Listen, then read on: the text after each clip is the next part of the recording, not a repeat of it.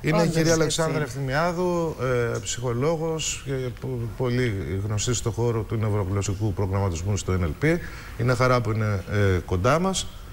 Και Όντως, πραγματικά είναι ένα μονοπάτι με δύο λέξεις οι οποίες ίσως έχουν χαρακτηριστεί προς τα παιδιά με έναν σκληρό τρόπο, όπως είπατε. Ε, ε, να, το πούμε, απ' την- να το βάλουμε από την αρχή τα, θε- τα θεμέλια. Η, η φύση δεν αναγνωρίζει τη λέξη αποτυχία. Παράδειγμα, βλέπουμε τα παιδιά όταν μπουσουλούν και π- ήρθε, η- έρχεται η ώρα να σηκωθούν στα δύο. Πόσες τούμπε, τούμπες Πόσες τρώνε; του, τούμπες τρών και ποτέ έχετε δει παιδί να καταργέται την ώρα και τη στιγμή που έφαγε τούμπα; Όχι. να κλαίει έχουμε δει. Ε, Να κλαίει. Τι κάνει όμως Ε, το γιατί κλαίει επόμενο. διαρκώς. Ε, Αυτό το εδώ είναι το το αμέσως κουμπί. επόμενο βήμα είναι να ψάξει να βρει από ποια γωνία θα ξαναπιαστεί για να μπορέσει να στηριχθεί και να ρίξει να, να, να, να νιώσει μεγαλύτερη σταθερότητα για να μπορέσει να περπατήσει. Άρα, εκ των πραγμάτων, η φύση δεν αναγνωρίζει επι- α, αποτυχία. Η αποτυχία είναι όντως, όπως πολύ σωστά είπατε, κύριε Παγώνη, μια κατασκευασμένη λέξη που ε, ήρθε από τον τρόπο που μας, την, μας μοίησαν σε αυτό. Α, Πώς θα μπορούσαμε όμως να το πούμε αυτό, Ένα- δηλαδή ένα ναι. παιδί ε, ε, συμμετέχει στις πανελλαδικές, δεν τα πάει καλά, δεν προχωράει, δεν, δεν φτάνει εκεί που ήθελε να φτάσει. Ναι. Πώς θα τη χαρακτηρίσουμε αυτή την... ε, Ε, δε- δεν θα πει είναι Κοιτάξτε. κατασκευασμένο το γεγονός ότι δεν πήρα τα μόρια που πέρασε, ήθελα να ναι, πάω έτσι. σε αυτή τη σχολή. Όντως. Είναι αντικει- Έχει μια αντικειμενική διάσταση. Πραγματικά. Ε, πραγματικά αυτά τα, τα παιδιά είναι ήρωες από τη στιγμή που γεννιούνται μέχρι και τώρα. Και ένα ηρωικό ταξίδι, ένα μονοπάτι έχει πάρα πολλές ανατροπές. Μια πολύ μεγάλη ανατροπή και ένας πολύ μεγάλος σταθμός είναι οι πανελλαδικές εξετάσεις. Έτσι. Εμ, σε αυτή τη διαδικασία η αποτυχία, η σωστή μετάφραση της λέξης είναι τι πήρα όταν δεν πήρα αυτό που θα ήθελα να πάρω. Που Εδώ έρχεται η σημασία της οικογένειας όπου θα χρειαστεί να καθίσουν να συζητήσουν με το παιδί, να δουν α, τι έγινε, τι δεν έγινε, τι θα μπορούσε να κάνει καλύτερα και ενδεχομένως να σκεφτούν μήπως υπάρχουν και άλλες επιλογές που δεν τις είχαν σκεφτεί υπό καθεστώς πίεσης του να δηλώσω τις σχολές, ε, να δω τι θα κάνω στη ζωή μου ή να μην είχαν βγει στην επιφάνεια πράγματα, να μην είχαν βγει τα πραγματικά θέλω του παιδιού. Άρα, ο ρόλος των γονιών ε, απέναντι σε αυτούς τους ήρωες είναι να παραμένει με το δικό του τρόπο κάθε γονιός ο παιδικός ήρωας του παιδιού, δηλαδή να, να, να κρατάει αυτή τη μορφή και όχι να αποδυναμώνει το παιδί, όχα πέτυχες και τι θα γίνει τώρα να φέρει την καταστροφή. Ο ήρωας είναι να έρχεται, το, το, ακολουθώντας το μονοπάτι, τι κάνει, έχει ανατροπές, αλλά προσπαθεί να ανακαλύψει τρόπους να ανταπεξέλθει σε αυτές τις ανατροπές. Και του, τι- τι έχουν να του πούν αυτές οι ανατροπές. Το άγχος των γονιών όμως πολλές φορές ε, μεταφέρει την κατάσταση σε πιο ανεξέλεγκτα επίπεδα. Πώς πρέπει να το διαχειριζόμαστε αυτό, γιατί και εμείς ξέρετε είμαστε αγχωμένοι, αν τα παιδιά θα πάνε καλά. Και εμείς για τα παιδιά τα κάνουμε ό,τι κάνουμε, έτσι. Το άγχος των γονέων. Και ο γονέας είναι ένας ήρωας, ο οποίος αυτή τη στιγμή είναι ένας ήρωας με χίλια πρόσωπα. Είναι ένας ήρωας στη δουλειά, που πρέπει να, να χειριστεί κάποιες καταστάσεις. Είναι ένας ήρωας στο σπίτι, είναι ένας ήρωας απέναντι στο παιδί του, γιατί θέλει να του προσφέρει ό,τι καλύτερο.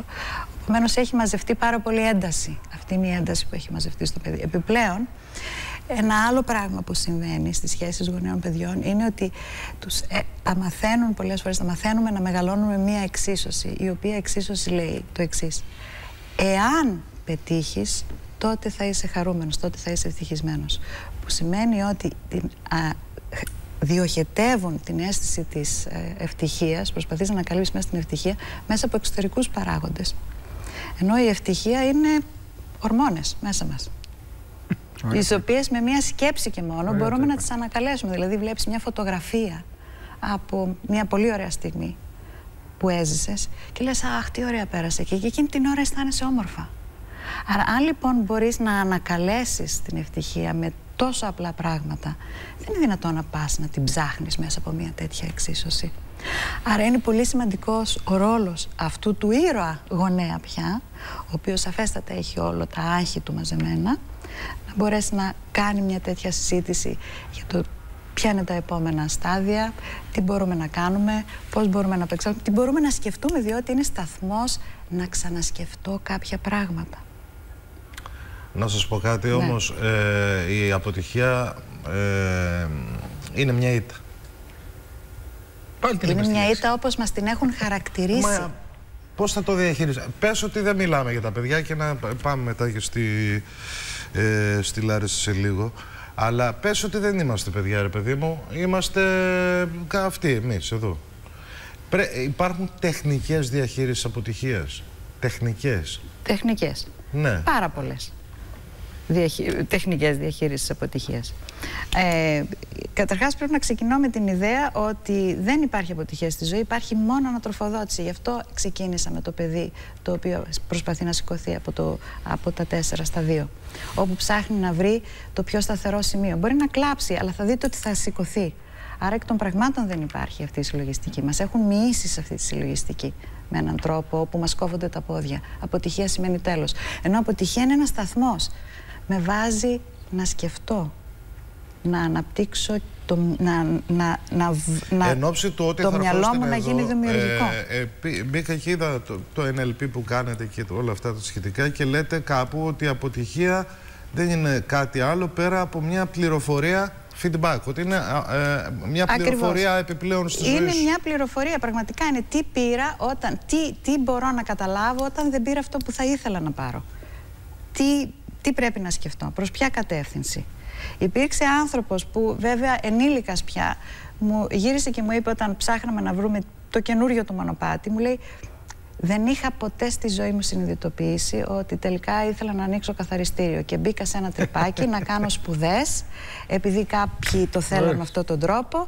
Και τώρα έρχεται η ώρα, ε, παντρεύτηκα, έκανα οικογένεια, έπρεπε να τους στρέψω, έπρεπε να τρέξω και ξαφνικά ε, βρίσκομαι στο κενό και τώρα ήρθε η στιγμή να συνειδητοποιήσω ότι τελικά ζωή. ζούσε μια άλλη ζωή. Ωραία. Μας δίνετε τώρα μια καταπληκτική πάσα για να ρωτήσουμε. Μικροί λέμε και θαυμάζουμε τους γονείς μας και λέμε: Ο μπαμπάς μου είναι αυτός, η μαμά μου είναι αυτή. Αντιστρέφουμε τώρα τους όρους. Οι γονείς πολλές φορές εκμεταλλεύονται την καταξίωση των παιδιών. Δηλαδή, τη χρησιμοποιούν. Λέει, το παιδί μου θα γίνει γιατρός. Αυτό το κομμάτι πώς το διαχειριζόμαστε. Δηλαδή, να μην κάνουμε υποχείριά μας αυτό που είπατε για το καθαριστήριο. Το παιδί το ήθελε επιστήμονα και αυτός θέλει να ανοίξει ένα καθαριστήριο. Αυτό πώς το διαχειριζόμαστε, εμείς αγωνείς. Ναι. Κοιτάξτε, όλα τα. Ε, πια υπάρχουν ε, ε, ε, γραφεία επαγγελματικού προσανατολισμού και αν δείτε τη δουλειά που κάνουν, είναι προσπαθούν να βοηθήσουν τα παιδιά τι θα τους κάνει ευτυχισμένους, να βρουν τι θα τους κάνει ευτυχισμένους, όχι να διαλέξουν ένα επάγγελμα, επειδή μέσα από αυτό το επάγγελμα θα καταξιωθεί ο γονέας, που, ο οποίος δεν κατάφερε να κάνει αυτά που θα ήθελε να κάνει. Έτσι. Όλη η συλλογιστική του επαγγελματικού προσανατολισμού ε, βασίζεται στο να βρει, να ανακαλύψει το ίδιο το παιδί ε, το δρόμο του, το μονοπάτι που θα, θα τον οδηγήσει εκεί που θα αισθάνεται. Ξέρεις πόσες φορές ακούμε, έχω δύο γιατρούς και ένα δικηγόρο, τίποτα άλλο. Ρωτάς αν αυτή, αυτό που μας λέει τώρα, κύριε Ευθυμιάδο, είναι ευτυχισμένη σε αυτό η που μαμά του εισαγγελέα, είναι μια που τη λένε η μαμά του εισαγγελέα. Ε, ναι. έτσι, έτσι, Προσδιορίζεται όπως... Ε, πριν ε, κλείσουμε, κυρία Φημιάδου, νομίζω το φθινόπωρο έρχεται η γκουρού της, η μεγάλη κυρία του NLP στην Ελλάδα. Ε, πώς, πώς, Μια που μιλήσαμε για ήρωες και ότι όλοι διανύουμε ένα ταξίδι ήρωα από τα γενοφάσια μας. Ναι, έρχεται η γκουρού του συστήματος NLP. Είναι η πρώτη γυναίκα που ανήκει στην ιδρυτική ομάδα του, ε, του συστήματος του νευρογλωσσικού προγραμματισμού, η Τζούτι Τελόζερ, και μας μιλάει για Hero's Journey.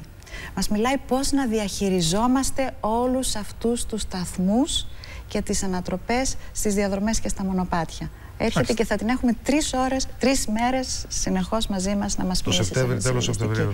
29-30 Σεπτεμβρίου. Ευχαριστούμε πάρα πολύ που είστε εδώ.